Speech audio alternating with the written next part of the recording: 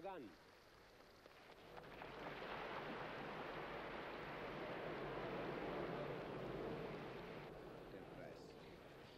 Dankeschön.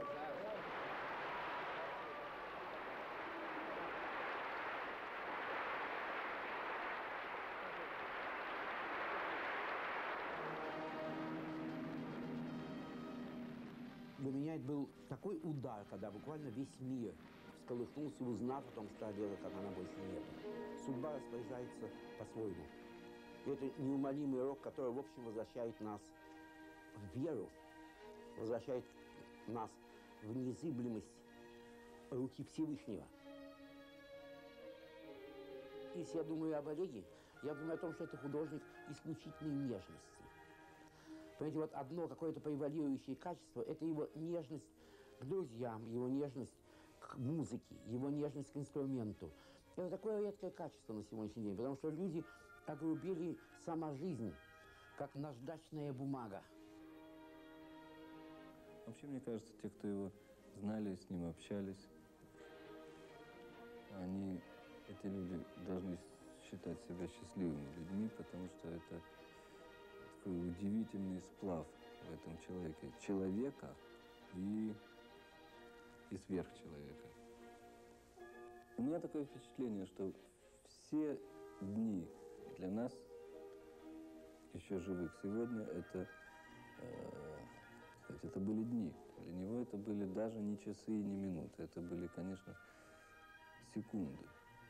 И он настолько ярко воспринимал каждый миг, что, в общем, каждая секунда наполнялась каким-то смыслом всей жизни. И он помнил, конечно, все. Он помнил до мельчайших подробностей все, что происходило.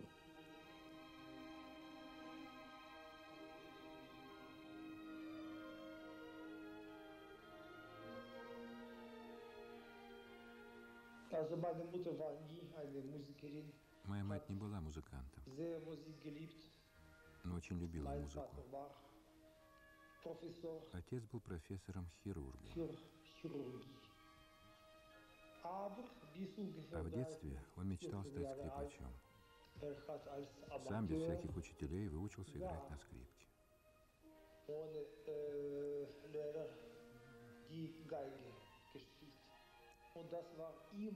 Всю жизнь он собирал и слушал музыку, also noch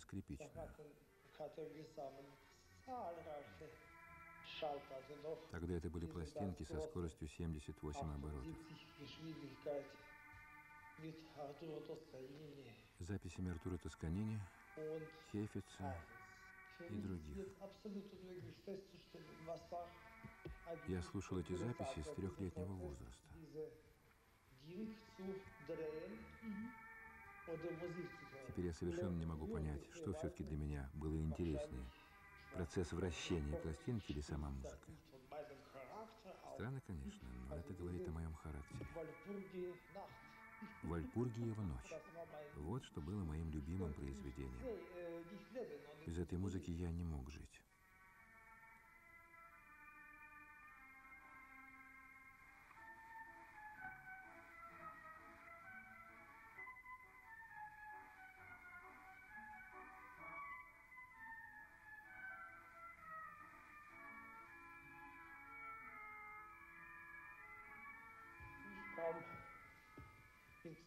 Я поступил в Центральную музыкальную школу в Риге.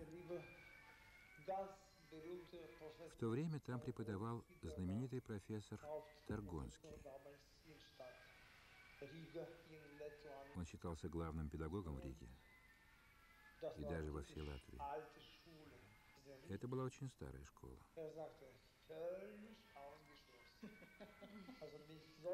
Профессор посмотрел на мои пальцы и сказал. Совершенно исключено. Об игре на скрипке не может быть и речи. Пожалуйста, пусть поет, танцует, но только не это. Никакой скрипки, никогда. Не могу утверждать, что эти слова произвели на меня большое впечатление, но именно в этот момент. Мне ужасно захотелось стать скрипачом. äh,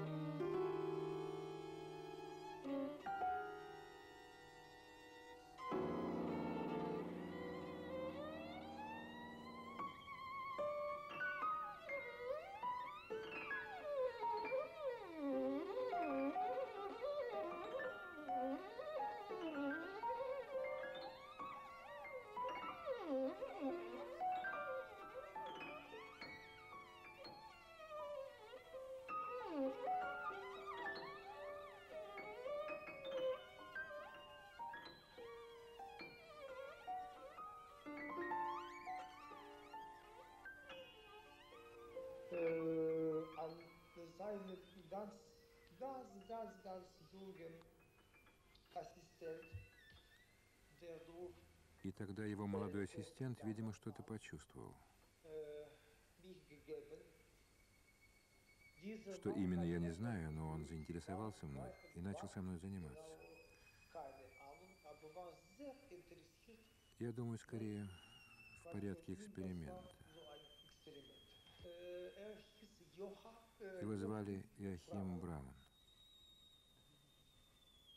Мне лично стало ясно, что ребенок это чрезвычайно талантливый. Особенно важно, что это очень тонкий, интеллигентный ребенок. И это обеспечило, по-моему, его успех.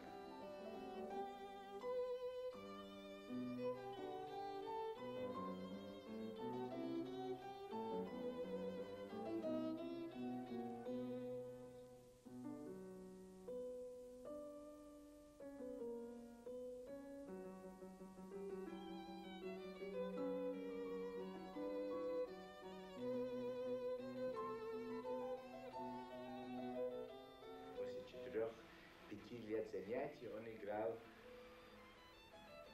высоковиртуозный репертуар. И последний год он играл на капризе Паганини. Это он делал поразительно в возрасте, значит, что-то такое 11 лет.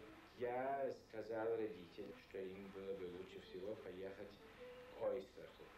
Но потом действительно всплыло имя профессора Янкелевича. И он в это время считался чуть не лучшим педагогом Москвы. Мы поехали вместе э, в Москву сыграть Янкелевичу.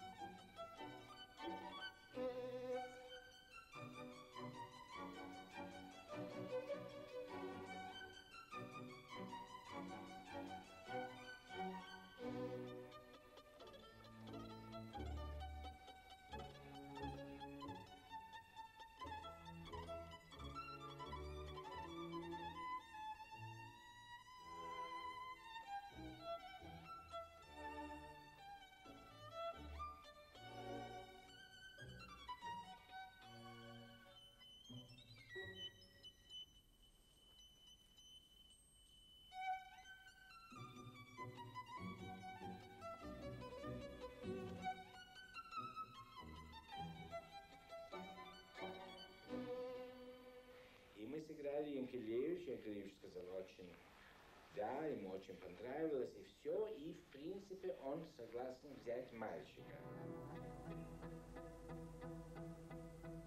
И он, э, значит, советует родителям при переезде в Москву,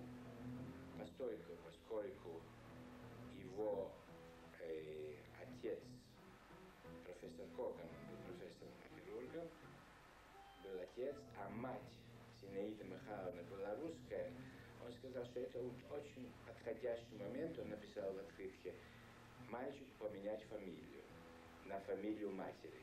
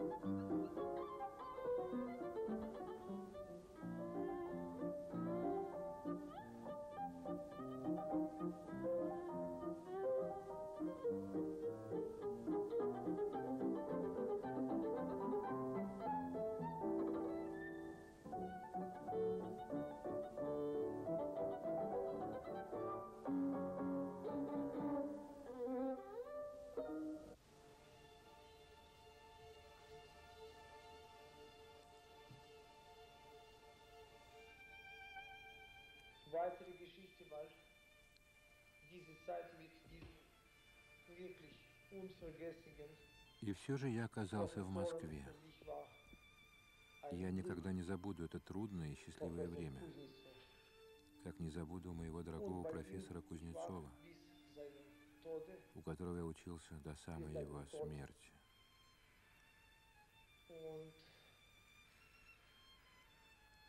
dann. Затем я перешел в класс Давида Ойстраха.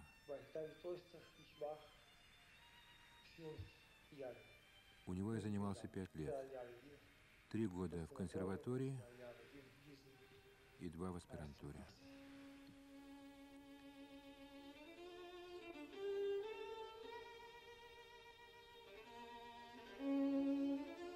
Мне много о нем говорил Давид Федорович, покойный Давид Федорович Ойстрах. Но же он именно оценивал, потому Ойстрах сам имел это замечательное качество. У него нежность к инструменту и нежность в отношении, э, в отношении к тому, что он делал. Такая, я бы сказал, хрупкость и в то же время исключительный масштаб.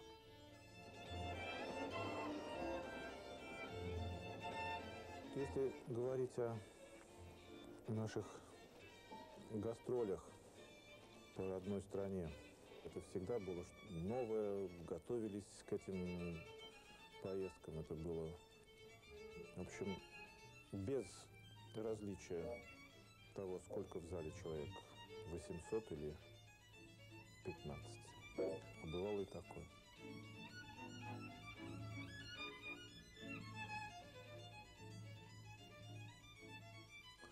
Зимой где-нибудь в поездах, там в Казахстане, я помню, как мы как-то в купе спали, накрывшись, э, ну, во-первых, конечно, в пальто в зимнем, и в шапке, и в ботинках, но еще к тому же накрывались мы этими тюфяками, которые там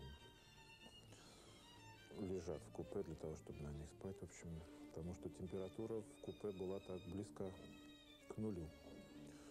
Но все это сейчас воспринимается так легкой такой ностальгической грустью и даже с каким-то удовольствием, с приятностью. Рихтер вернулся из Лондона. Там он его услышал на концерте, которым дирижировал Давид Ойстрах. Олег играл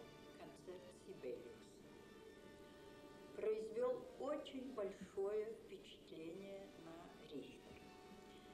И когда мы э, когда он рассказывал об этом концерте, он мне сказал, вот с этим скрипачом я бы хотел играть.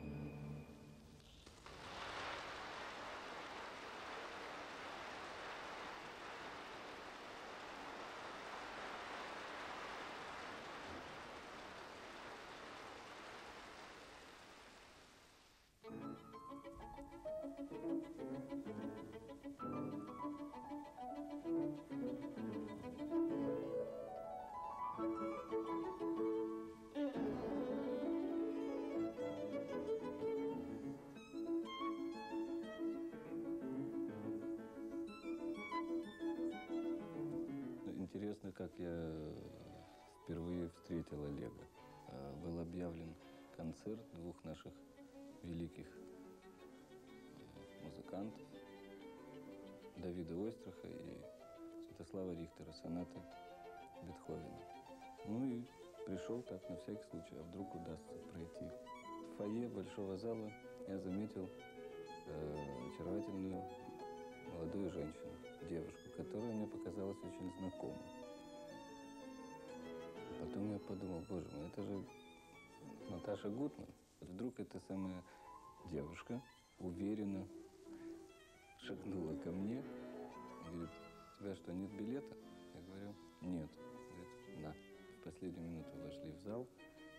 Это были какие-то очень хорошие места в портере, и я был невероятно счастлив. Вот выступал живьем Ойстрах и, и Рихтер, и Рихтер.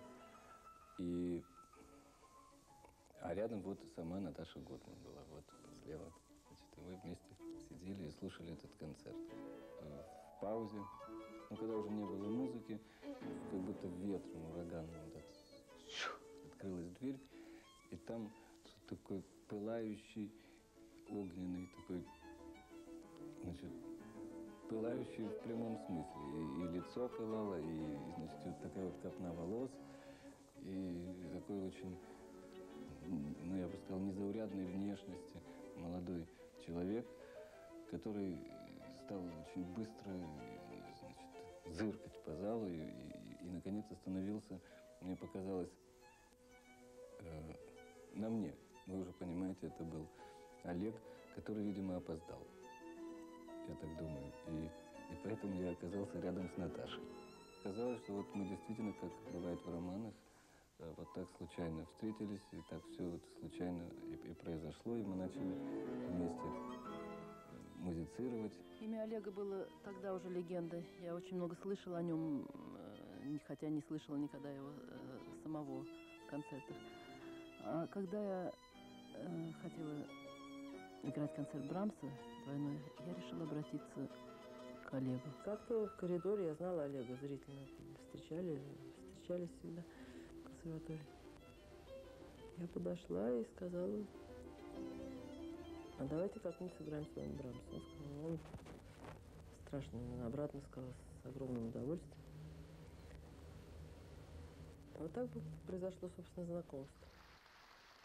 В начале 70-х годов мы впервые сыграли с Олегом двойной концерт Брамса в Большом зале с оркестром под управлением Евгения Светланы. Это был для нас очень значительный этап.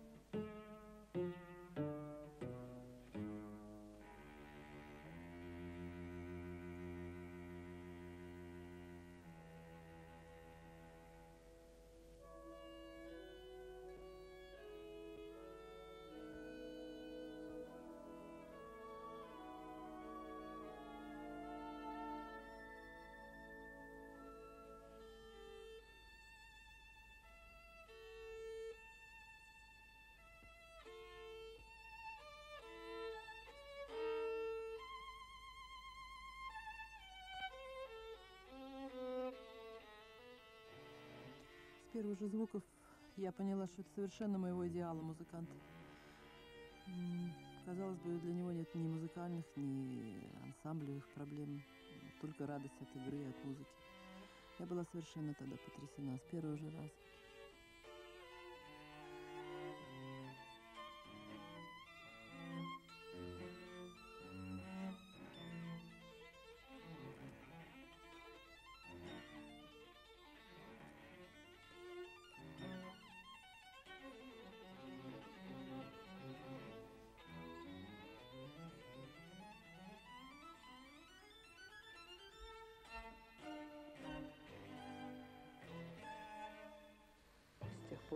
Играли. В общем, 20 лет. Но так и не умудрились записать на пластинку.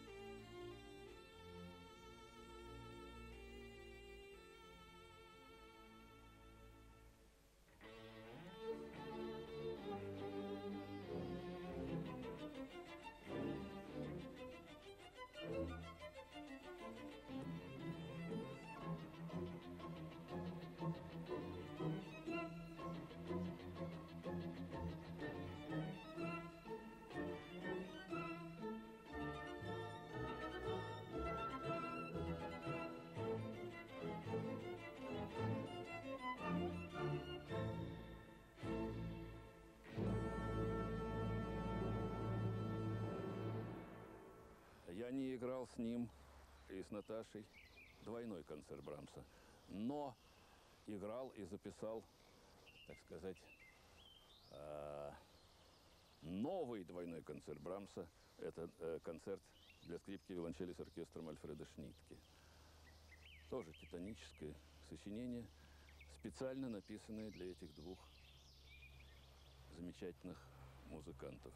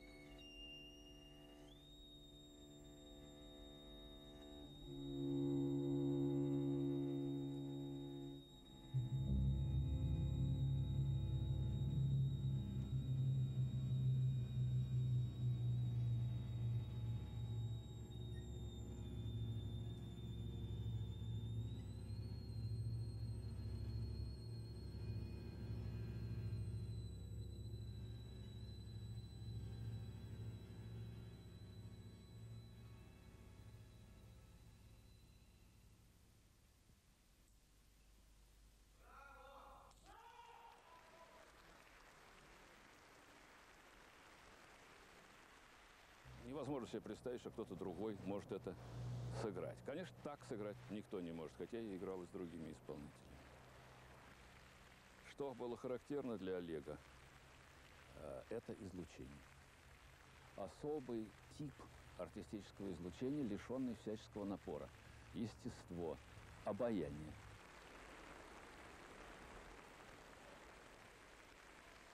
Это исполнение у меня э, в ушах до сих пор, э, во всех деталях, потому что такие вещи, они как бы перестают быть чисто музыкальными явлениями, исполнение так, такого типа. Это как бы выход из музыкальных слоев в какие-то также и вне музыкальные.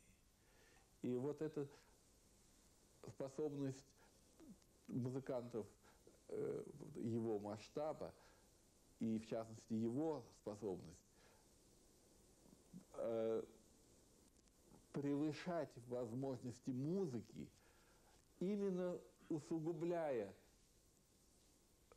музыкальные достоинства. Это э, получается так, что словно в игре выдающихся музыкантов, и в частности это было в игре Олега Кагана, музыка говорит, может говорить о чем-то и другом, и может быть и большем, чем музыка. Вот эта возможность, она не часто возникает в, э, в, в концертах, когда э, но она всегда возникала в концертах Олега Кагана.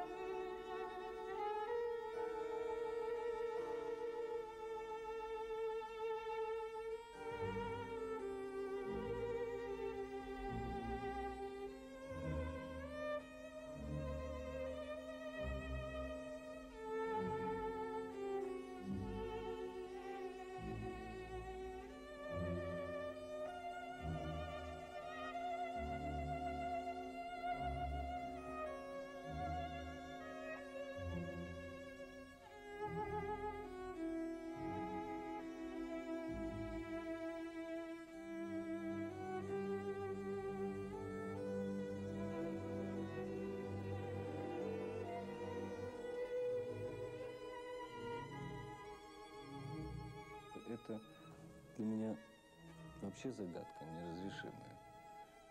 Олег – музыкант. Олег – это Моцарт в. Если говорить о штампе, это я сейчас, это, конечно, смешно звучит, но это неподражаемая элегантность во всем. Элегантность. А, И опять-таки здесь смыкается он с Моцартом. А, В качестве партнера ничего более гениального я просто не, не встречал никого.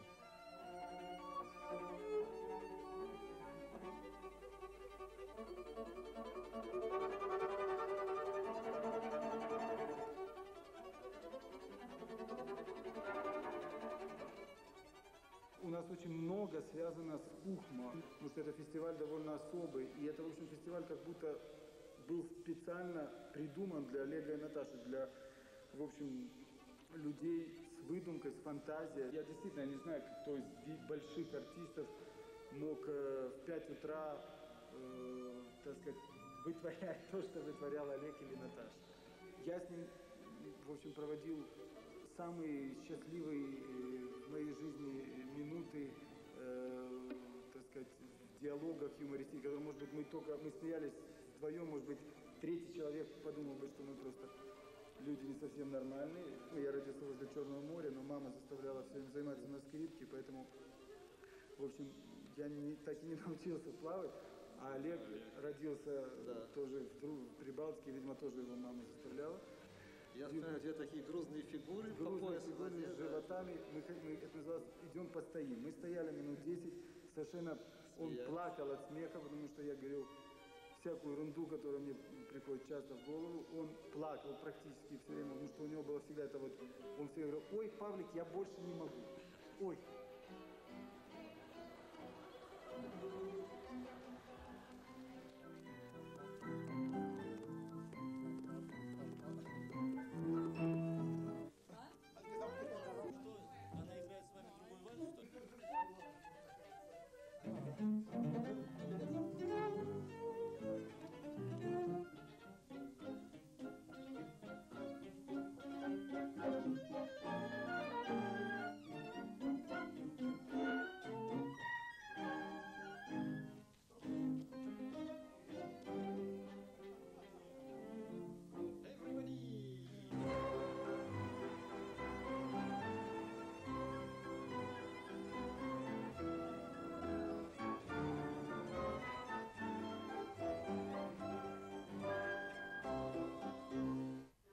Бывает э, такой фестиваль, э, где не просто концерты, а действительно камерно-музыкальное действо. Э, ну, почти театральное действо, мне кажется. Это замечательно. Кроме того, то, что можно э, на месте, э, прямо тут в Кухма, составлять новые ансамбли с новыми музыкантами и попутно с ними общаться и знакомиться, это прекрасно.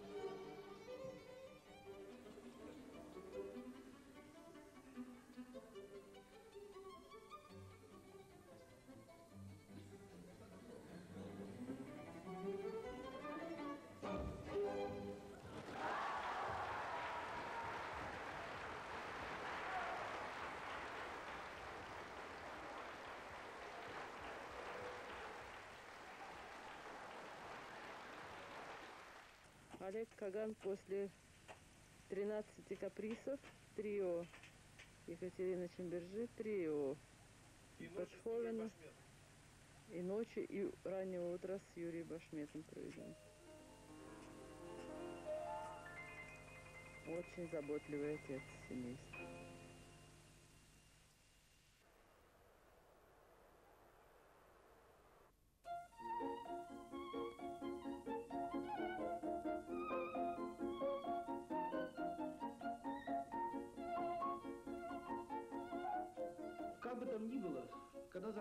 Фестиваль, как-то одновременно, действительно одновременно, я помню, что мы, перебивая друг друга, вскричали, что нужно сделать такой фестиваль у нас.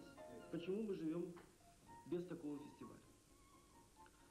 Вот Да, потом мы история возникновения. потом, этого. где можно сделать. Да, И, где конечно, можно? сначала сказали только в Грозе. Только в Грузии, да, это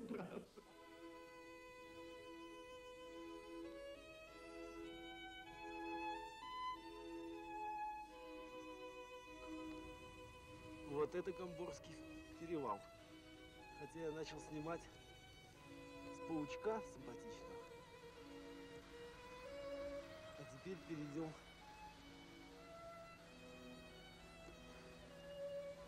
к окрестности. Секаган, ваше мнение о проведенных двух неделях? Жоли. И все?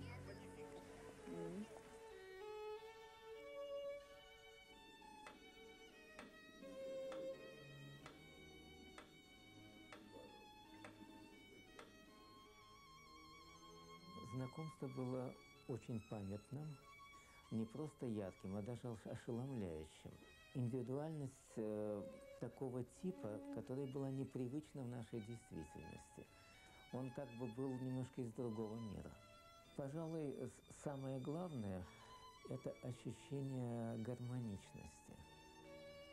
Вспоминается много э, эпизодов, связанных с Олегом, вот такой вот поразительной жизненной отдачи, когда он жертвовал всем ради э, подготовки какой-то новой программы. Это вот была эпопея концерта Берга с астрономическим количеством э, репетиций, встреч, подготовки. И я, и Олег Совы, э, насколько я знаю, э, Святослав Теофилович тоже, он поздно ложится спать, он нормально себя чувствует поздно вечером и старается э, утром очень рано не работать. И так получилось, что в течение очень длительного времени мы все трое, и Олег в наибольшей степени, он должен был рано встать и заехать еще за мной, потом ехать на квартиру к Святославу Теофиловичу, мы вставали ни свет ни заря буквально. Мы где-то в половине восьмого уже начинали репетировать. Это был не один день и не два, это был большой период жизни. Вспоминается эпопея подготовки баховской программы, когда мы уже, правда, по ночам репетировали вместе с э, Наташей Гутман, с Олегом, с ансамблем молодых музыкантов в заброшенной квартире дома, который должен был быть поставлен на капитальный ремонт. Очень важна для Олега была этическая сторона. Э, Во всем он видел, ощущал и э, выявлял нравственные какие-то задачи, этические задачи, э, задачи духовной жизни, интерпретации человека с очень широкого э, философского взгляда на жизнь, доброго взгляда. И в каком-то смысле очень э, органично сочетающего драматизм и гармонию жизни. Вот гармоничность это свойство Олега в музыке, в жизни, в общении с людьми. Ощущение э, веры, веры в э, бессмертие души э, у него явно было. Хотя прямых разговоров не было, но косвенно это ощущалось всегда.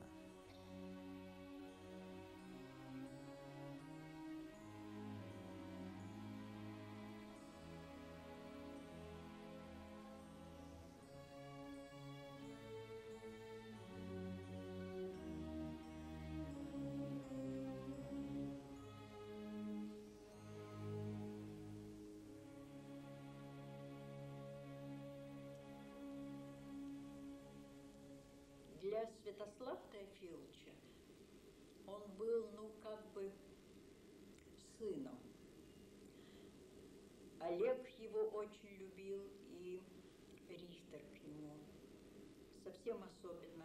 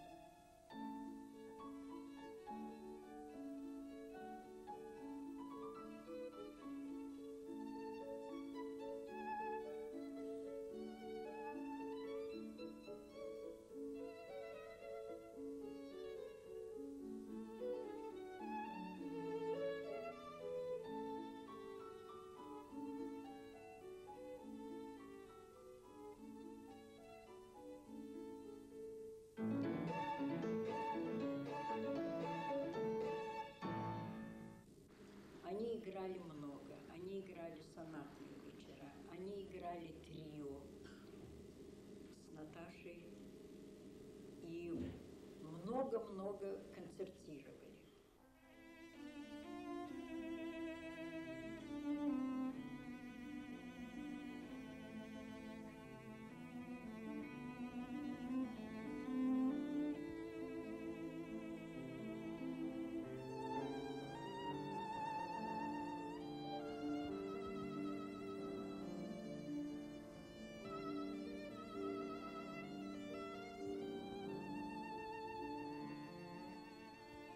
Олег был замечательный музыкант, это было всем ясно и э, было бесспорно, и когда происходили такие концерты, равноправные э, концерты Рихтера, э, Наташи Гутман и Олега Кагана, было очевидно, что это все три совершенно разные и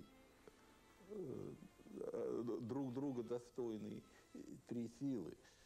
Но когда концерты кончались, то каждый становился таким человеком, каким он бывает вне концертов. И э, вот Олег был человеком чрезвычайно деликатным, неназойливым э, и говорившим мало, вернее, не то чтобы мало, но как бы уходившим всегда на второй план. Причем в этом не было юродства или какого-то нарочитого прибеднения. Э, он не нуждался, это потом понял, что он не нуждался в ежесекундном подтверждении извне своей значимости. Он э, не восполнял э, комплекс неполноценности, не удовлетворял его тем, чтобы каждый раз э, обратить на себя э, внимание. И это было, конечно, не только природным свойством, но это и было и проявлением какой-то изначальной воспитанности, которая достигается не через учебные заведения, а, а через характер этого человека.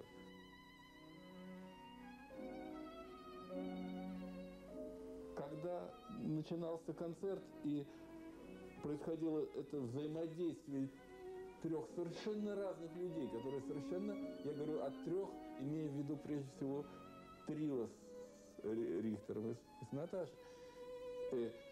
Э, но это почему-то не мешало э, воспринимать никого из них. И никто из них не был главным в этой ситуации. Хотя он становился главным в те или иные моменты, когда он играл тему. Но это почему-то не мешало. Это почему-то был разговор совершенно трех разных натур. Они могли, оказывается, говорить друг с другом.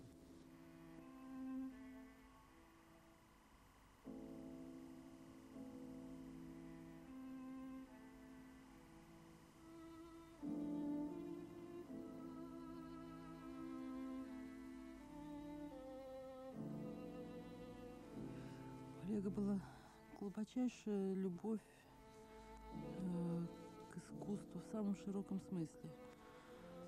Он обладал каким-то абсолютно непререкаемым, абсолютным вкусом как э, к музыке, так и к литературе, и к театру, и к живописи. Даже в самый последний период своей жизни, когда он был в Италии, во Флоренции, он потом мне рассказывал, что он с радостью рассказывал, что он открыл новый способ э, смотреть картины, новый способ их по-настоящему узнавать. Это ходить каждый день в галерею и смотреть одну или две картины.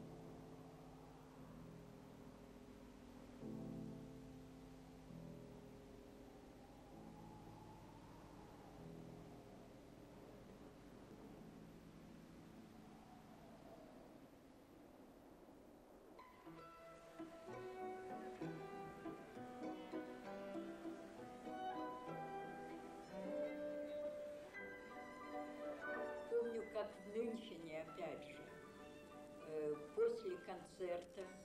Мы были там во время карнавала. Там было страшное веселье на улицах. Там пили пиво, там пили вино. Ходил Людовик II переодетый и не один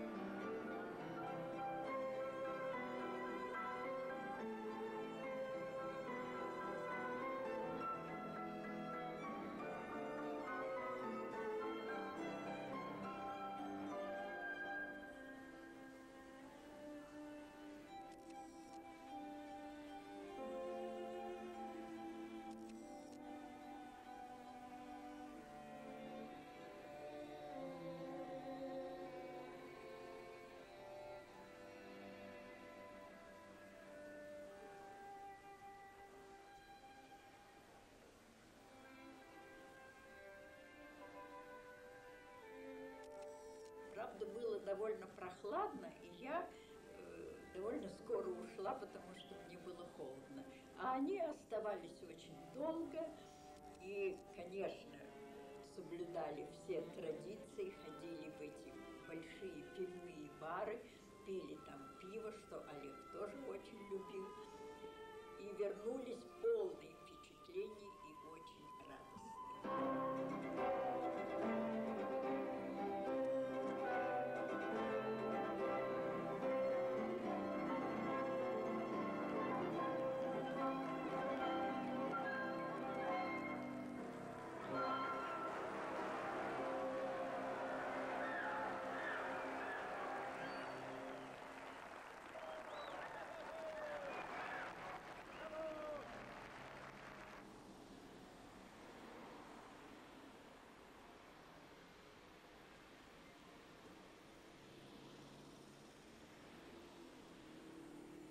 Последний раз мы его видели в Мюнхене. Мы пригласили Наташу и Олега такой ресторан «Бистро», «Кай-бистро». Там было довольно все занятно, там были декорации в этом э, ресторанчике. И тоже Олегу и Наташе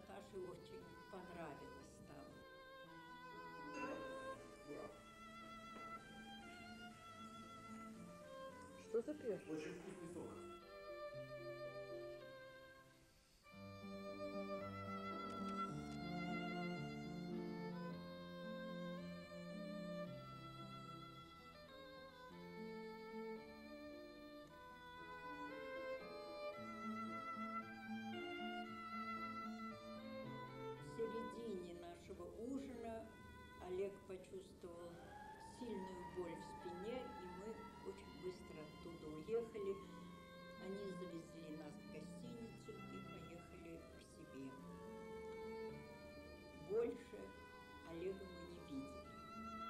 Потом Мюнхен все-таки после таких радостных встреч и концертов удачных и карнавалов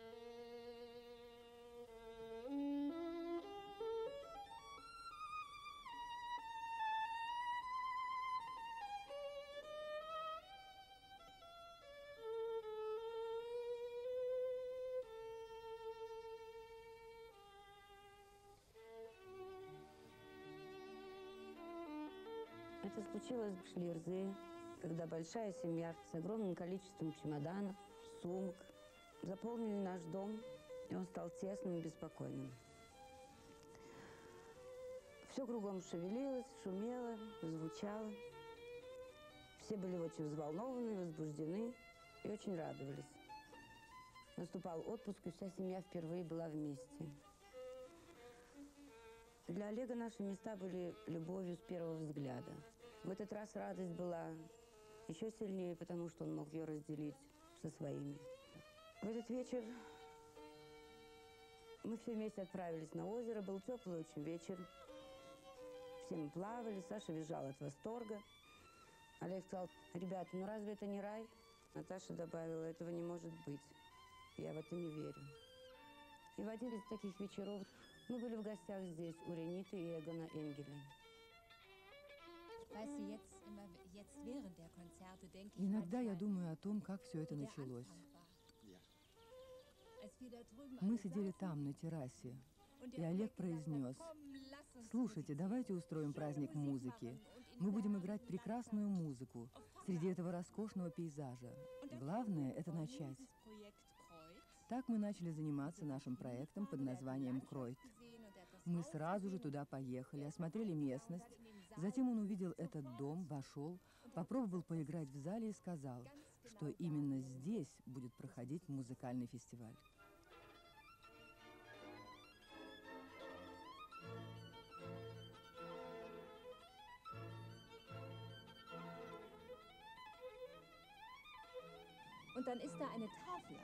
Там на здании была мемориальная доска, на которой написано, что здесь останавливалась семья русского царя. И когда Олег увидел ее и прочитал надпись, он воскликнул, «С нами ничего не случится. Это принесет нам счастье».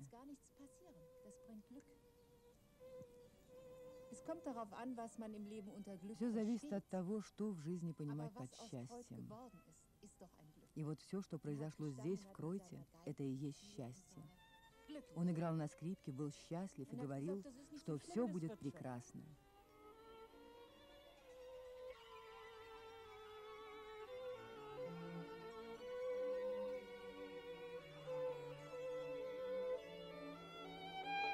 Так начался отпуск, который продолжался два дня. Ой, какой здесь солнышко!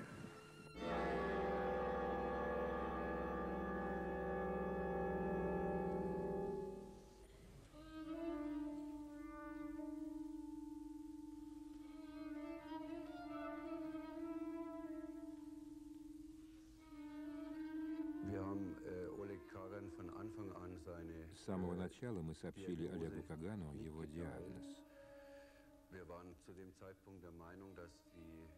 Тогда мы думали, что болезнь можно будет окончательно ликвидировать путем операции. А химиотерапию применим для пущей безопасности, как меру предосторожности. Здесь, в Германии, мы обязаны разъяснять больным, почему мы применяем такие ядовитые медикаменты.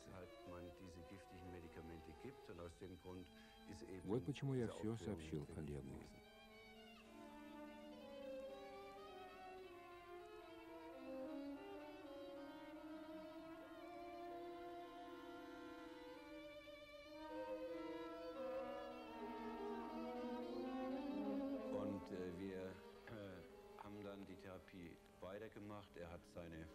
Стал ездить снова на гастроли. Много бывал за рубежом. Мы несколько изменили срок его гастролей с тем, чтобы он мог работать и в паузах приезжать для проведения химиотерапии.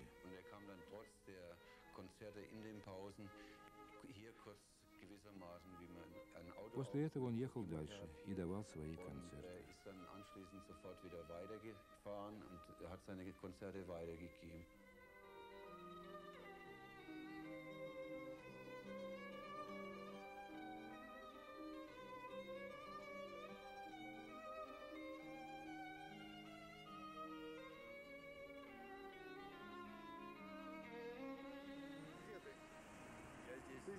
там Леонардо да Винчи, а вот театр.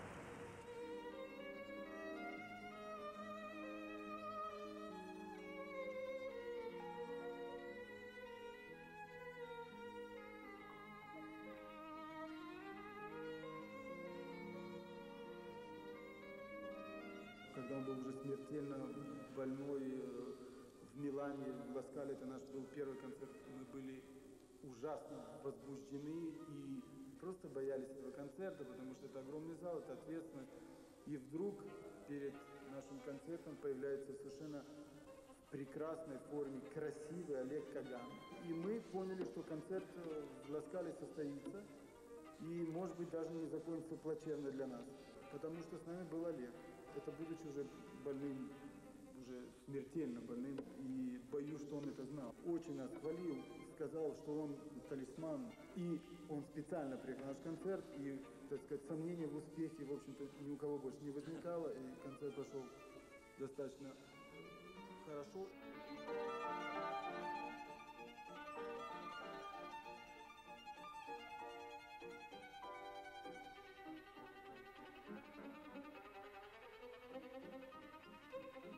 Я вспомнил Олега, первую нашу встречу, это было много лет тому назад, и как бы он когда здоровался, он обнимал человека и притягивал себя, и вот нас он притянул на просто на долгие годы. Всю жизнь, можно сказать.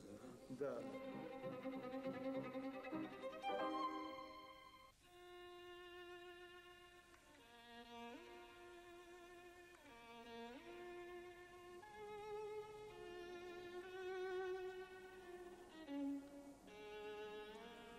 Обожал гулять по новым городам, где он э, играл. И всегда очень красиво рассказывал о своих прогулках. Однажды после прогулки по Манте он пришел э, потрясенный красотой, каким-то необыкновенным ощущением, которое он испытал. Он дошел до края города, там м, стена городская, ров, были сумерки, был закат, очень суровая Мантуя вообще суровый город, суровая картина была.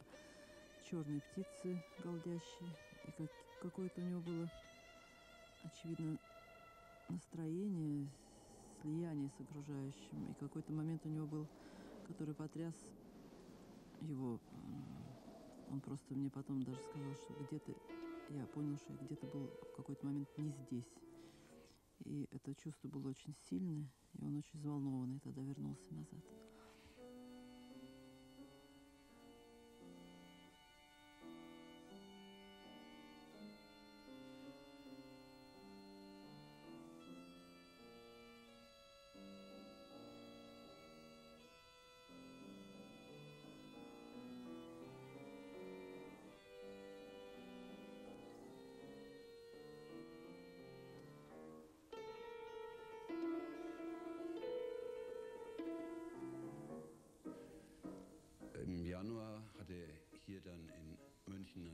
Январе он дал здесь, в Мюнхене, Er концерт.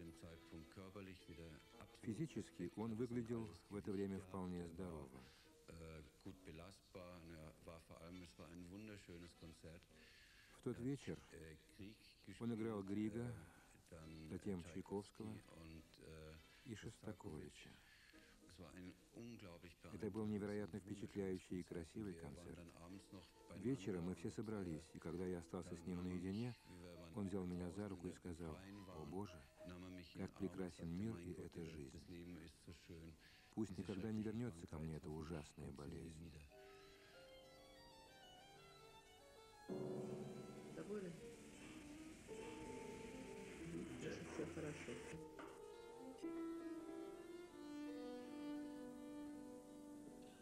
В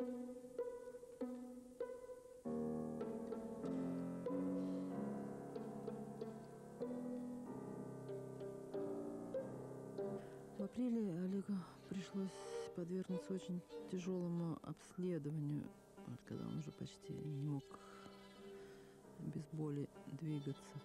А, ну Это связано было с э, магнитным полем, это обследование, не помню, как оно называется. А, В человека помещают узкую темную трубу, включается магнитное поле, почему-то сопровождается каким-то ужасным грохотом. И человек не может не пошевелиться, и, конечно, ничего не видно. А, И врачи даже, когда его туда помещали, сказали, что если что-то случится, если вам будет страшно или что-то произойдет, пожалуйста, кричите громче, нам очень плохо слышно. Ну, Олег, конечно, не кричал.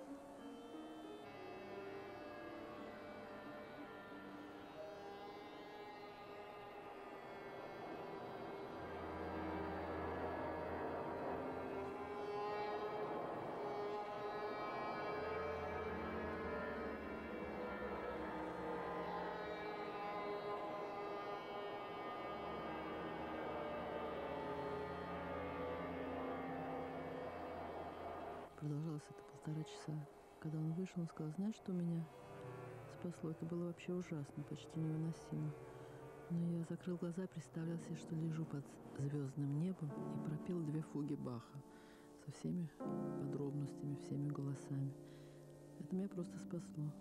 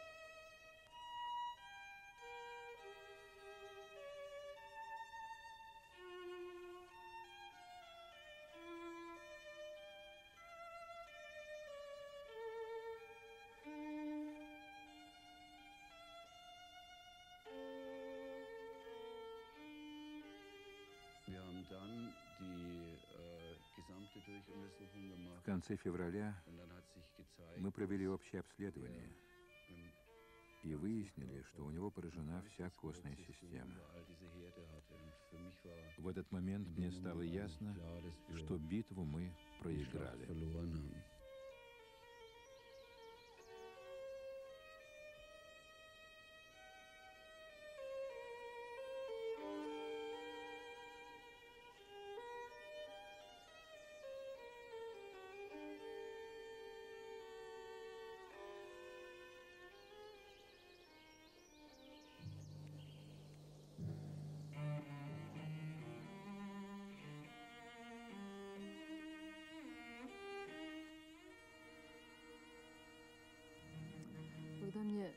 Посчастливилось играть с замечательным дирижером, изумительным человеком Серджио Челебедаки э, и Мюнхенским филармоническим оркестром в Москве, а, по-моему, это было в конце 87 года, мастер Челебедаки посетил наш дом и познакомился с Олегом, был очарован им.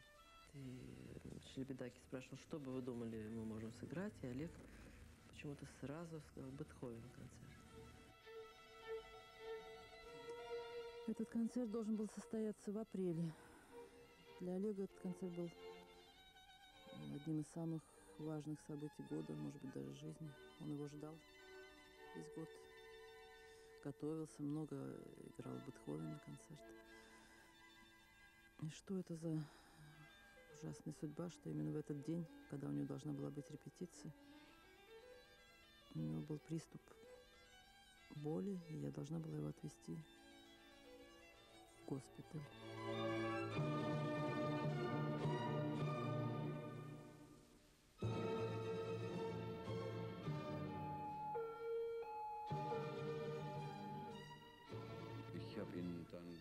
Он пришел ко мне в клинику с жалобами на сильные боли, но сказал, что ему предстоит репетиция с маэстро Черебедаки.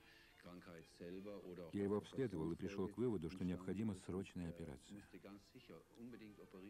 Но Олег мне сказал, я непременно должен играть с Челебедаки.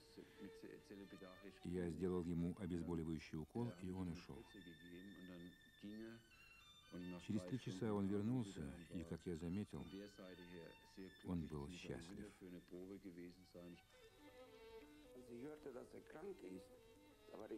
Он выглядел больным. Я спросил себя, как он, бедняга, будет играть, когда у него такие сильные боли? Но после первых звуков скрипки я сказал себе, мой Бог, больной человек не может так играть.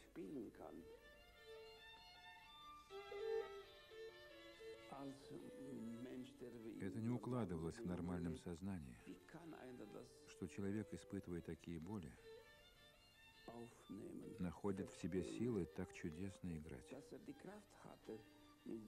Это означает, что искусство было в нем чем-то законченным и совершенным. Ему нужно было только одно — играть.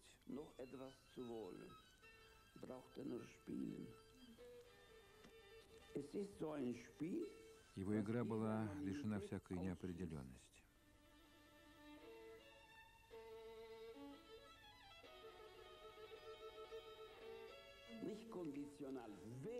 Он знал, что играть надо так и только так.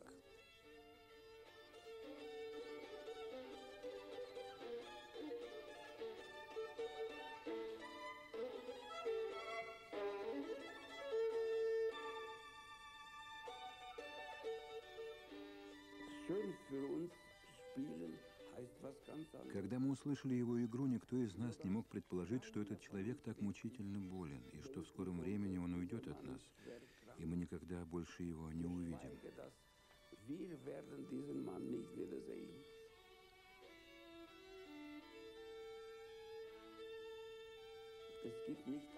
Пожалуй, нет никого из великих музыкантов, с кем бы я не играл этот концерт. Это были, так сказать, все сливки мира.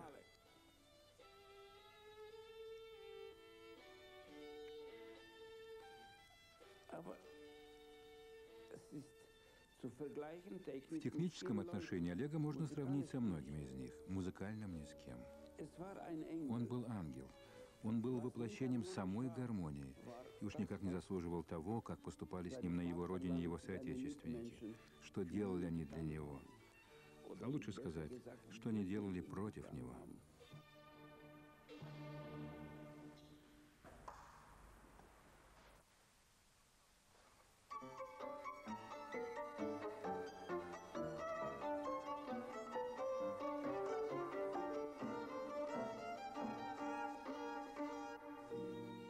Если бы все было благополучно в жизни, то мы никогда бы не дошли до глубины своих возможностей.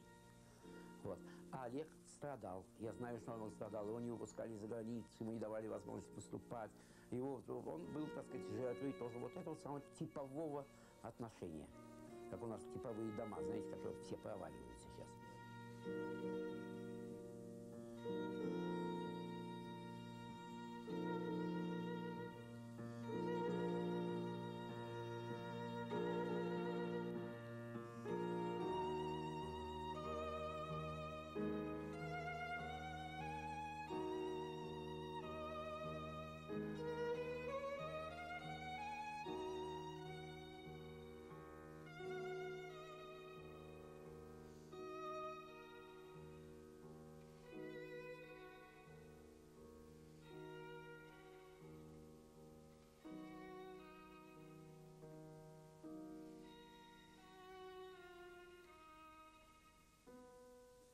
Да, многое он недополучил лично. Многое недополучили его слушатели, которые могли слышать больше. Но вы знаете, в формировании художника целый ряд трудностей, через которые он идет, формирует в каком-то смысле и его индивидуальность.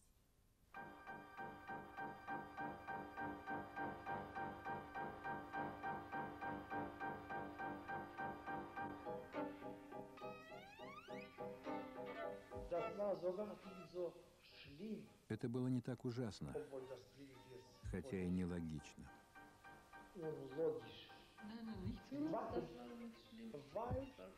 Мы очень многое открыли для себя. Поняли, к примеру, что наша свобода находится внутри нас, внутри человека.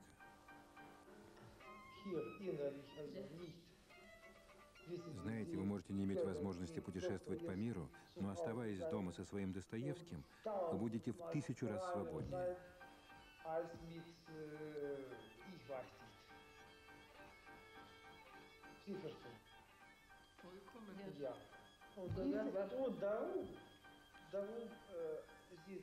И поэтому мы злимся, когда слышим, что это было потерянное время. Это совершенно неправильно, потому что все зависит только от самого человека. Теряет он Also или нет.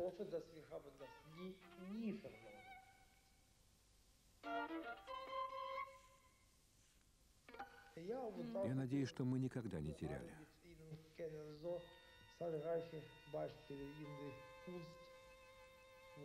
Мы знаем очень много примеров, когда искусство подавляли, запрещали.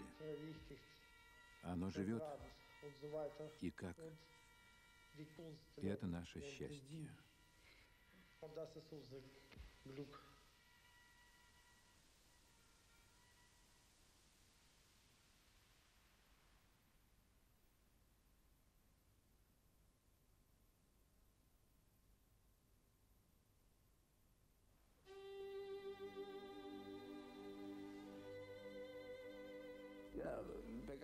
Я был совершенно заворожен его игрой.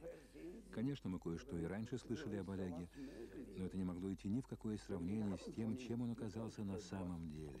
И мы спросили его, кто вы, откуда вы, и почему мы не имели возможности раньше слышать вас.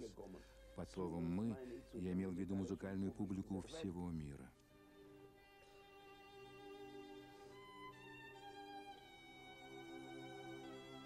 А игра была действительно совершенно неземная.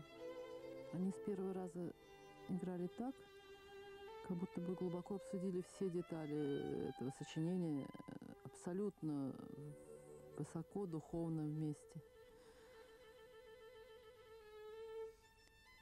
После репетиции мы срочно поехали в госпиталь, где его прооперировали, так как ничего другое в создавшейся ситуации не могло быть. Когда мы ехали из Кройта, где он в последний раз играл за три дня до смерти, мы проезжали зал филармонии, и Олег сказал, ну вот так мне не удалось здесь сыграть. Мы все стали его уговаривать, что еще сыграешь и не раз. Он как-то так ухмыльнулся со своим знанием.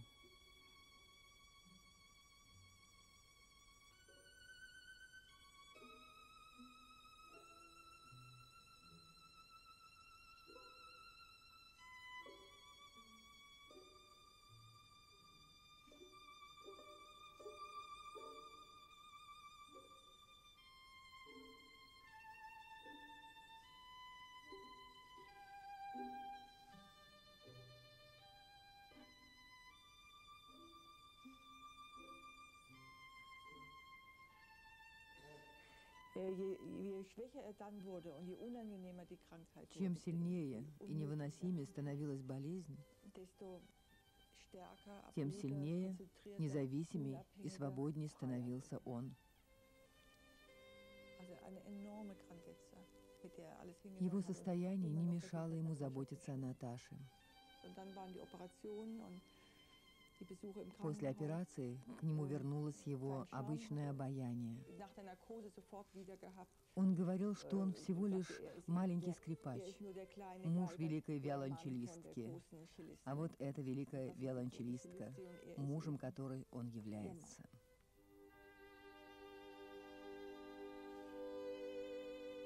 Перед нами знаменитейшая во всем мире, можно сказать, березовая роща. Ну, мать, дело в том, что телевидение же не сделает тебя фильм, а так останется память. Все-таки. Можно будет его показать потом в каком-нибудь другом телевидении.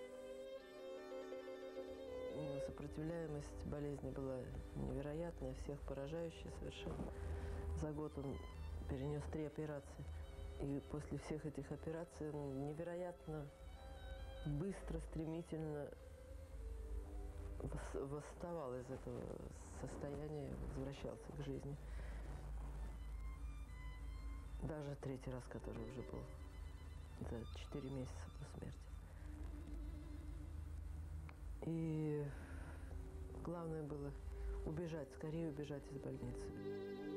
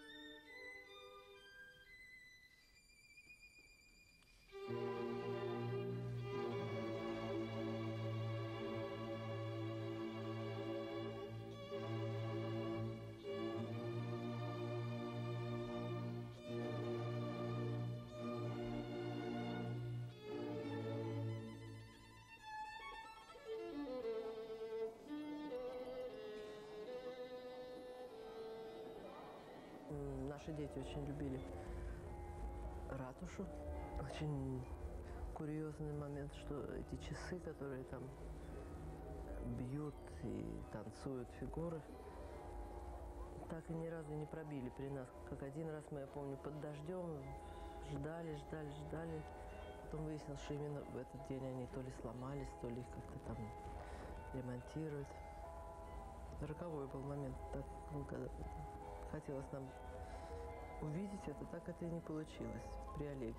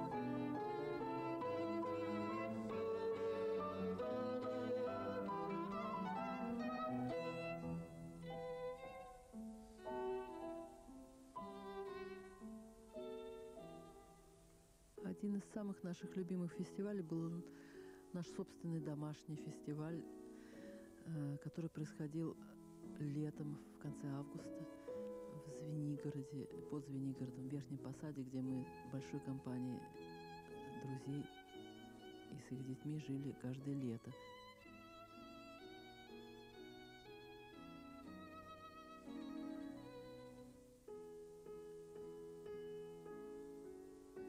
Все было поставлен очень серьезно. Был ряд серьезных концертов э, взрослых, потом детский, потом был концерт э, заключительный, где э, принимали участие все, и э, обязательно одна часть была шутливой, были сочинены специальные э, какие-то произведения для э, заключительного концерта каждый год, включая оперу и оперету, и кантаты. На первый фестиваль к нам пришел в гости пешком с Николиной горы Рихтер, а уже в следующий фестиваль он участвовал, э, играя сольный концерт. Это было какое-то незабываемое время и давало всем нам колоссальный заряд на, на весь год. Э, Мы с нетерпением ждали следующего лета. Олег за неделю до смерти сказал мне, знаешь, чего хотелось бы сейчас больше всего? Хотя бы на три дня в посад и сделать фестиваль для детей еще раз. Из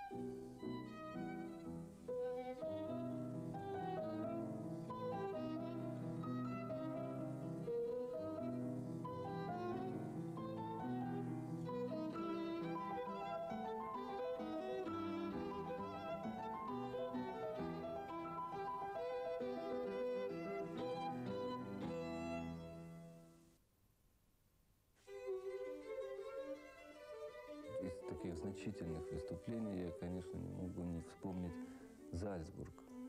Вообще, по-моему, здесь огромную роль Наташа сыграла, потому что э, практически она его вывезла из э, Мюнхена, из госпиталя и привезла на машине вот, в Зальцбург.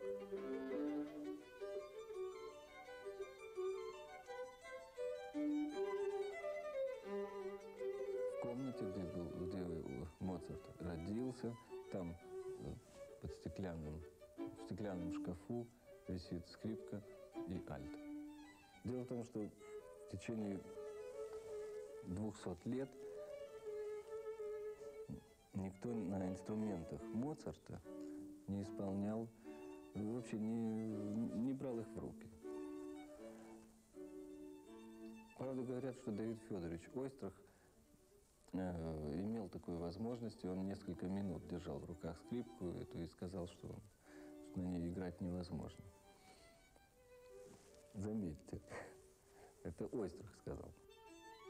По-моему, это подарок от Бога был всем нам, и Олегу в том числе, успеть э, именно Олегу взять в руки этот инструмент.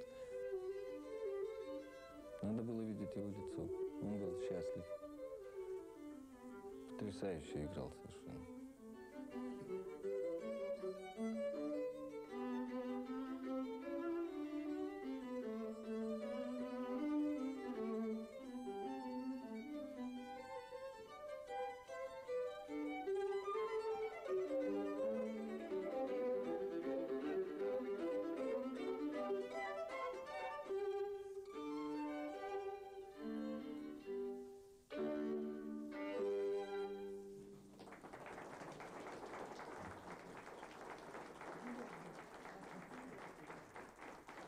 Инструмент, который так долго лежит, так же, как и альт, так и скрипка, конечно, они, как бы сказать, не разыграны. Они оживали по мере того, как мы на них играли. Но чувство совершенно необыкновенное. Когда я увидел его, в это время его везли на каталке из после облучения.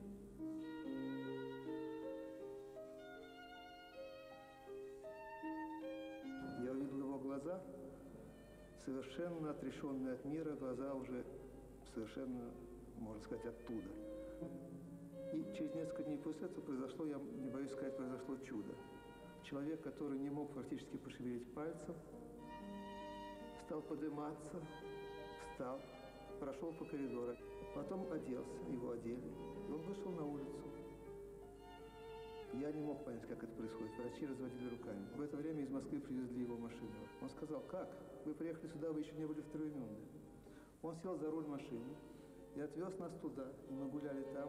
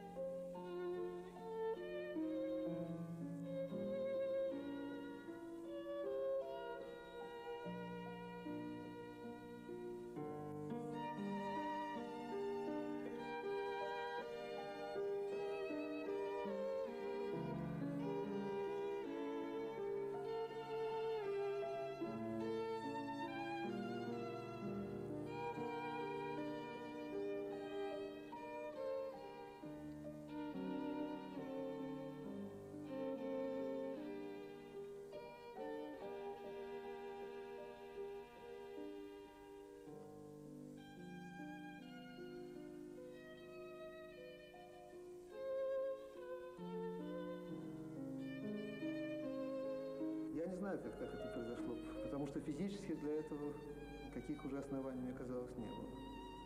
Как потом сказал мой врач, что если бы не его удивительное мужество, воля к жизни, и он бы умер, конечно, не дожил бы до этого июля, до своих последних концертов, которые он здесь играл. Однажды ночью, довольно поздно, раздался э, звонок международный, его сразу узнаешь. Он, так, вот он позвонил очень бодро, буквально так типично, как бы, ну, ну как бы закричал так, приезжай, ты все бросай, приезжай. Ну, мне стоило больших сил, чтобы уже просто не расплакаться в трубку, потому что как вдруг я понял, что это такой э, за этим типичным тоном. Приезжай, за этим что-то уже такое.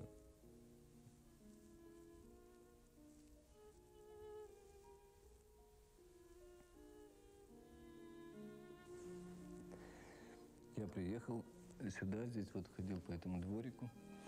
Значит, Олега нет, он еще все находится в Любике. Никто, даже самые близкие, не верили, что Олег будет играть на фестивале. Только он один жил этой надеждой. И только одной надеждой, что он приедет в Кройт. Когда он появился, э, подъехала машина, ему было даже трудно выйти из автомобиля. Он открыл дверь такси, увидел коляску, сказал, не надо, я так. Ну, подбежали, все, поздоровались. И с этой же минуты все опять стало на свои места. То есть вот это, вот это его поле, которое он излучал, конечно.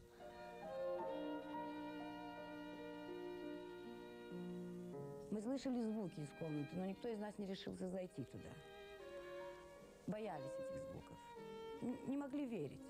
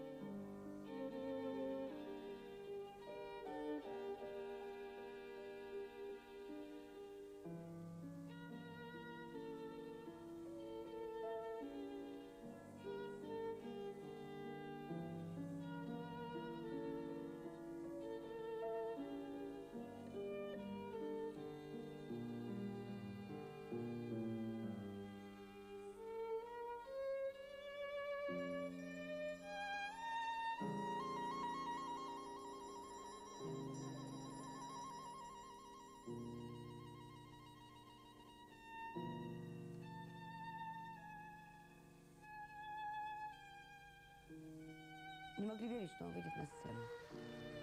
Но это случилось. И это было продолжением чуда.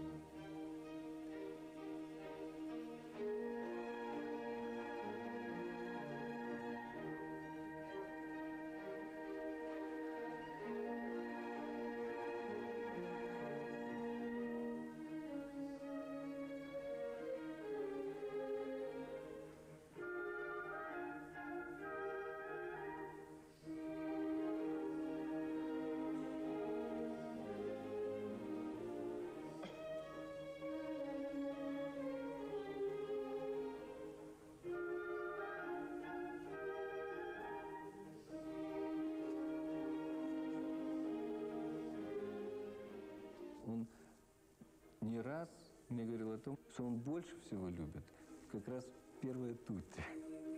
Но он его слушал, э, так вот поставил скрипочку, немножко облокотился и закрыл глаза.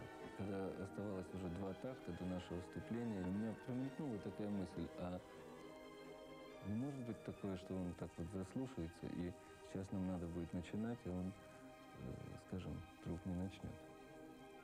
И я ему тихо сказал, Олег, а он так только таким минимальным каким-то движением дал мне э, знак, подал знак, что он здесь. И потом в последний момент поднял скрипку, и мы начали играть.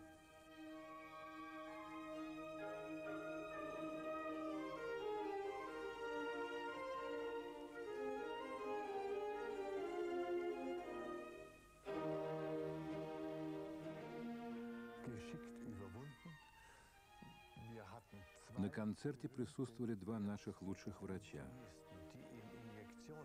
Они сделали ему несколько уколов перед началом концерта. Для того, чтобы в те полчаса, когда Олег должен был оставаться на сцене, хоть как-то уменьшить эти страшные боли, которые он испытывал непрерывно.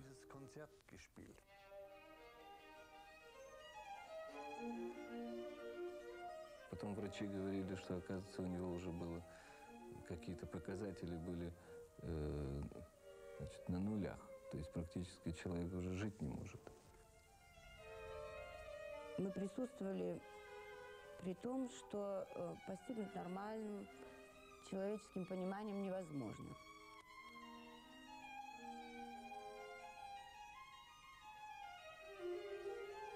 Это выходило за пределы и раздвигало наши границы. Это учило нас по-новому ощущать самопонятие жизни, свое собственное существование.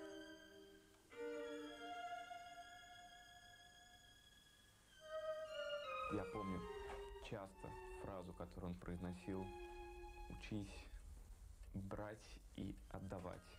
Вот так, сейчас таким жестом он это делал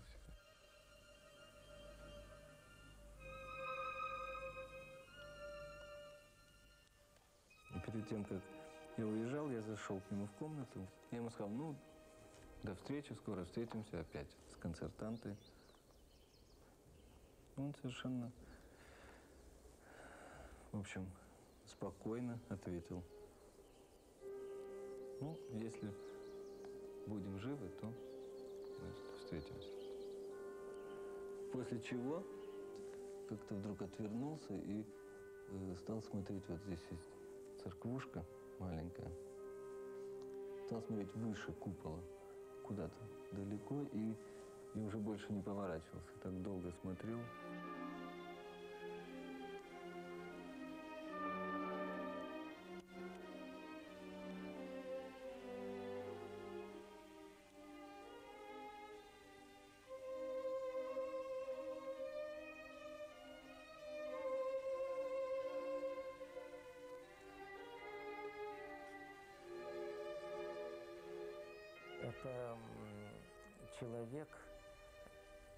Ощущающий, знающий, что он уходит из этого мира, и э, отдающий себя всего э, окружающим.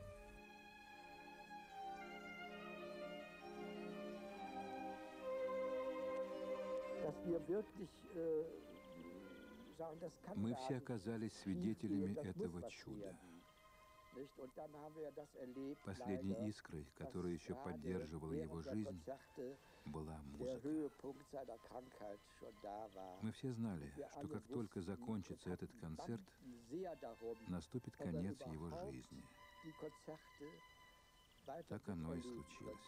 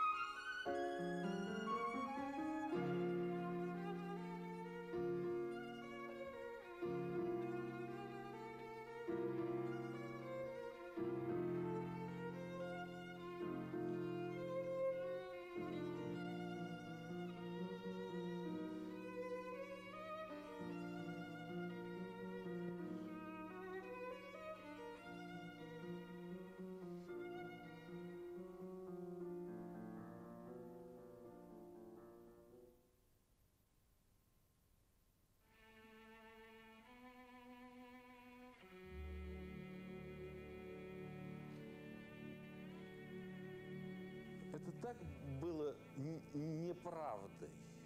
И что у меня после этого опять возникло не раз уже бывавшее искушение принимать э, физический конец человека, принимать его за ну, не окончательный конец. Это как бы никак не уничтожение его духовного существования, его присутствия. Хотя и физически мы его уже не видим. И вот мне кажется, что э, то, что было с Олегом, это одно из многочисленных подтверждений того, что жизнь не прекращается, не прекращается с физической смертью. Сегодня слушаем записи Кагана или видим его на экране телевизора или кино, мне кажется, что это открывает дорогу и в будущее, в будущую жизнь этого большого артиста. Я продолжаю думать и ощущать, что он есть. И более того, ощущаю уверенность в том, что он будет. Я думаю, что непознание еще должно пойти больше к нему, чем он имел. Потому что его записи, его музыка, его звук – это тон его сердца. Если все будет хорошо на земном шаре, если человечество будет любить классическую музыку, верить в Бога и заниматься самосовершенствованием, то в таком случае, может быть, в 21 веке вот Олег и станет тем идеалом.